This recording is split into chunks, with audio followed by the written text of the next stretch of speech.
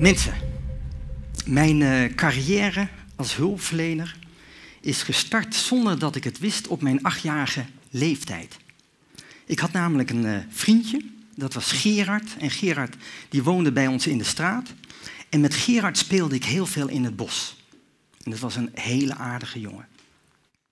En uh, in dat bos speelden we en we zagen al die bomen. En op een dag zeiden we tegen elkaar, weet je wat, zullen we eens een boom gaan beklimmen?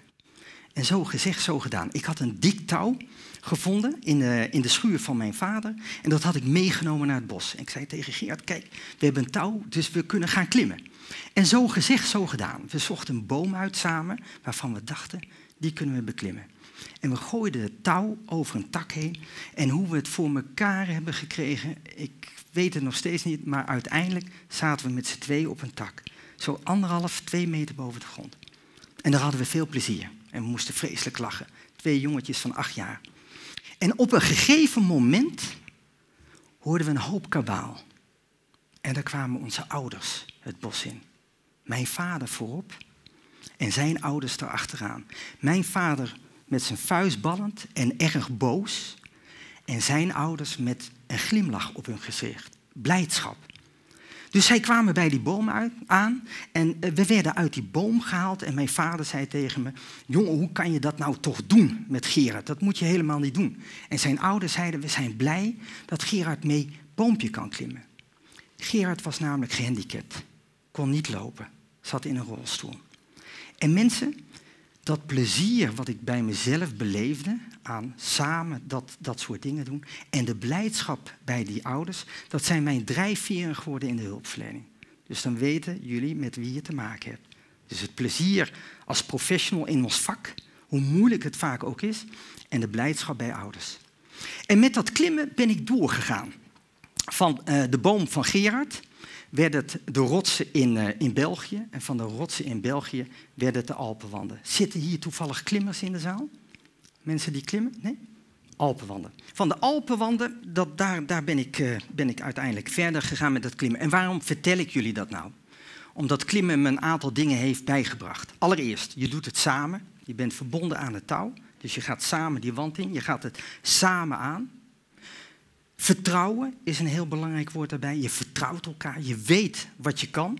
Als mijn klimaat niet goed traint en met mij zo'n wand ingaat, dan wordt het met mij, gaat het met mij ook niet goed. Dus je moet elkaar vertrouwen op wat je doet en wat je kunt en hoe je uh, blijft trainen om de vaardigheden te behouden. En een ander belangrijk ding, en dat is een hele belangrijke, kun je eerlijk zijn tegen elkaar. Eerlijk zijn als het niet goed gaat. Eerlijk zijn tegen jezelf als je bang wordt. Eerlijk zijn als je denkt, het gaat niet goed met mijn maat, met mijn klimaat. Dus daar moet je het over hebben. Dus die begrippen als vertrouwen, samen en die eerlijkheid, die neem ik mee in mijn hulpverleningspraktijk. Maar nog even doorgaan met dat klimmen. Wij uh, klommen een grote Alpenwand samen met mijn klimpartner. En we zaten op zo'n 200 meter hoogte. En ik ik, jullie zijn geen klimmers, maar ik ga het toch even uitleggen. Mijn klimmaten staat dan op een soort relais, noemen ze dat. In de wand staat hij vast, zo, met haken. En van daaruit zekert hij mij. En ik klim door.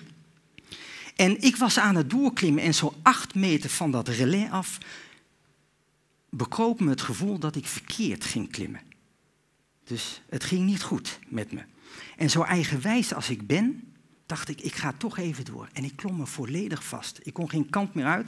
Een volstrekt gladde wand. En ik denk, nou, nog even en ik val eruit. En dat heeft grote gevolgen als je zo hoog zit. Dat wordt link. Daar kan ik jullie hele verhalen over vertellen, maar nu niet.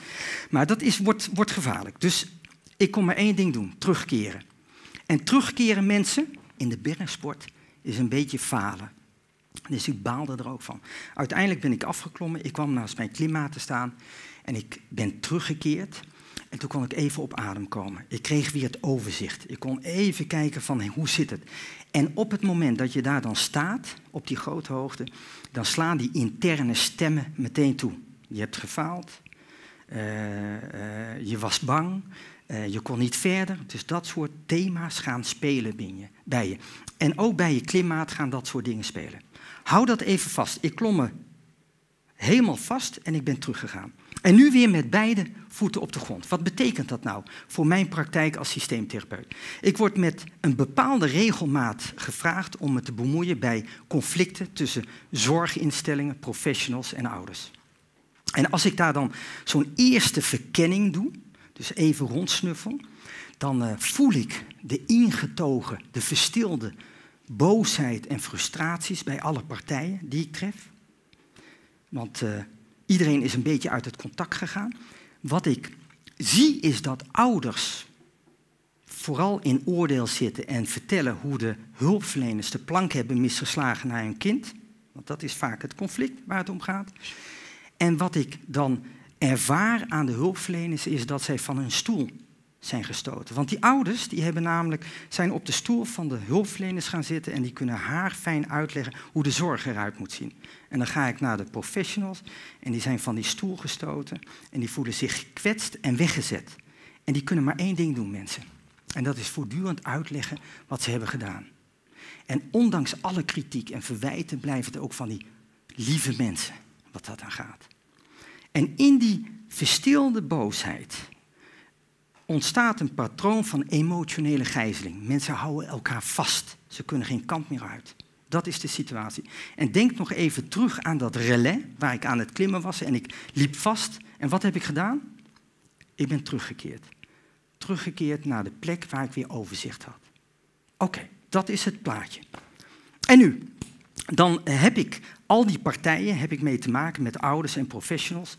En mijn ervaring leert dat je dan niet direct met iedereen weer aan tafel moet zitten. Want wat gebeurt er als je te snel aan tafel gaat zitten? Dan slaat dat de herhaling van aanvallen en verdedigen weer heel snel toe.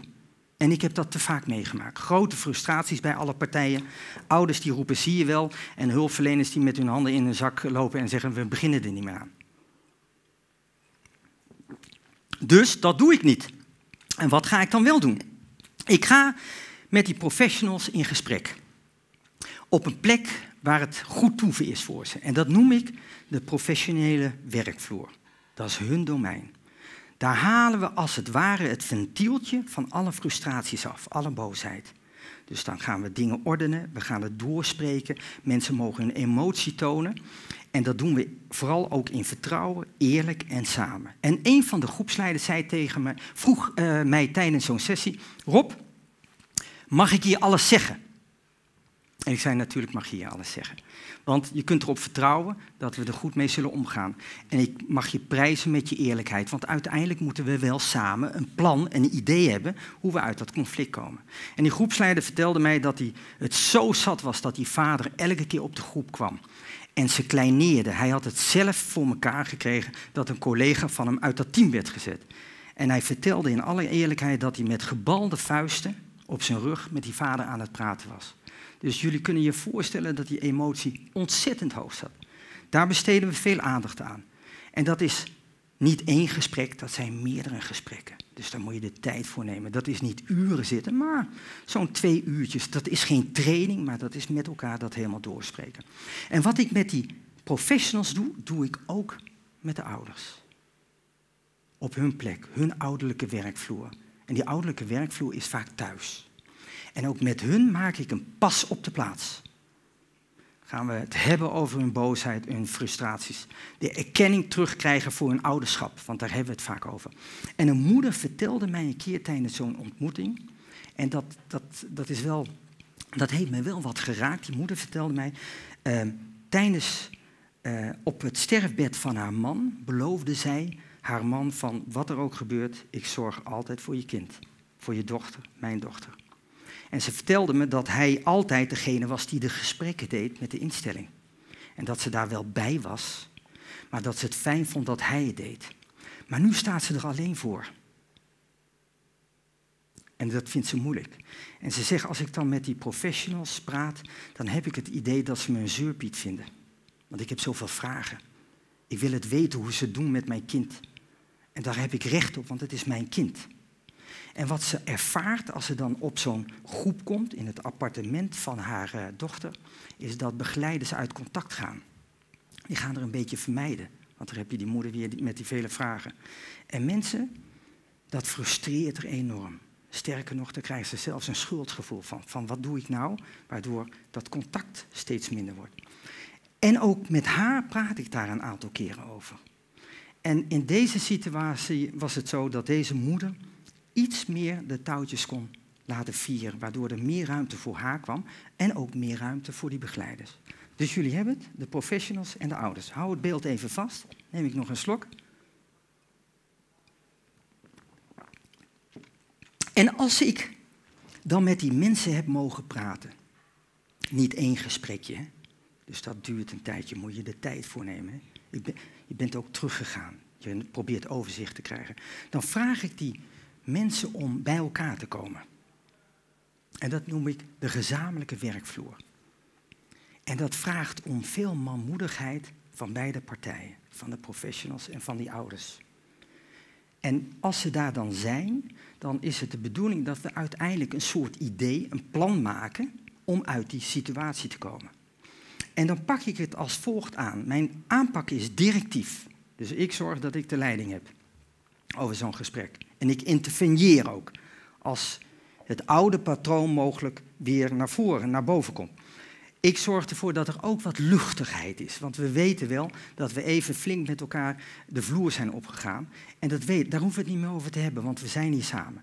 En bemoediging hoort erbij bij het feit dat ze er zijn. Want ze zijn gekomen. Nou, drie, die, dingen, die, die drie dingen zijn erg belangrijk. En wat ik dan doe, mensen, is eerst iedereen welkom heten.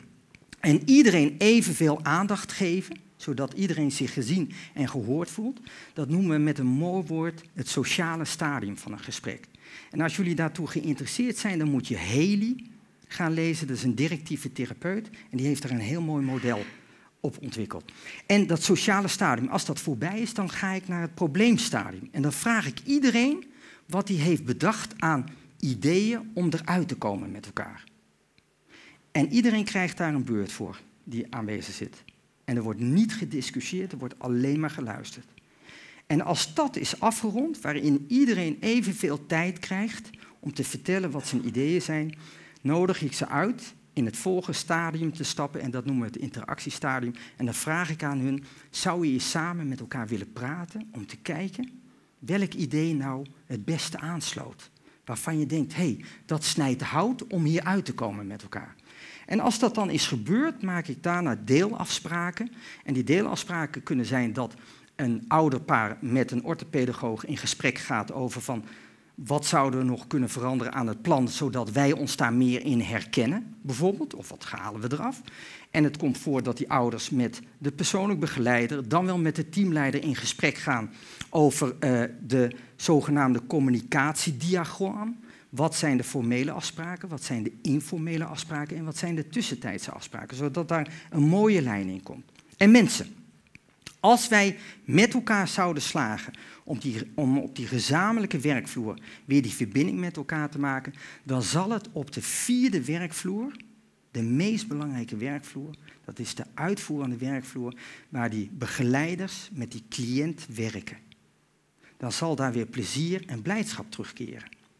Want daar moet die verbinding weer komen.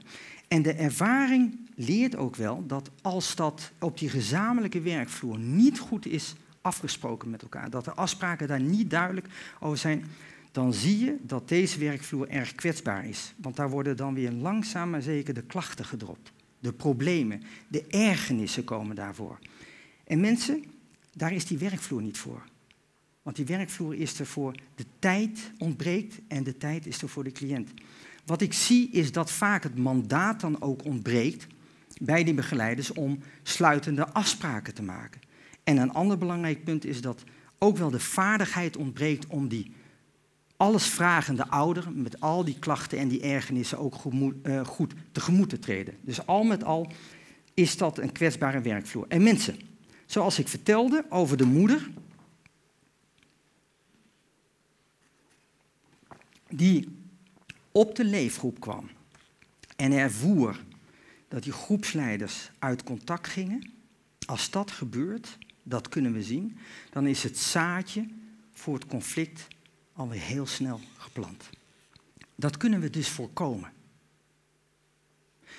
En als jullie morgen weer een nieuwe dag beginnen En die dag begint misschien met een bestaand conflict waar je mee moet werken. Of misschien een dreigend conflict.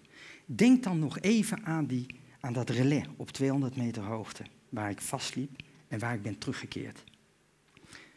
En ter afsluiting, deze avond, donderdagavond, is mijn klimavond. Ik ga altijd klimmen hier in Amsterdam. Amsterdam heeft heel veel klimhallen. En dan ga ik weer keihard trainen. En weet u waarom? Om te zorgen dat ik niet vastloop. Ik dank jullie wel.